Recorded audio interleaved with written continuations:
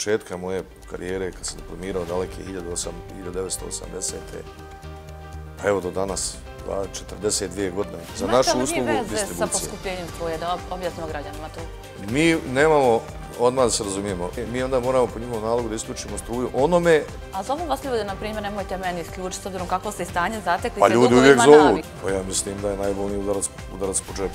I je li bilo otkaza? Činjenica je da ovdje bilo previše radnika. Jeste li strog direktor? To se tako danas moderno zove, ranije se to nazivamo dere se kako lud. Da li mislite onda da druga javna preduzeća koja sve to gubitaši ili dužnici toliki, da to škripi od vrha?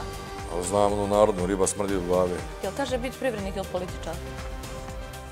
Ne mislim da je teže biti privrednik. Uvijek postoji onaj ko negdje sa strane e, kerozinom gaci požar. I onda je napravljena klasična srpska greška odmah na početku koja je trebalo ovaj, tada još preduzeti i reći mi to ne prihvatamo.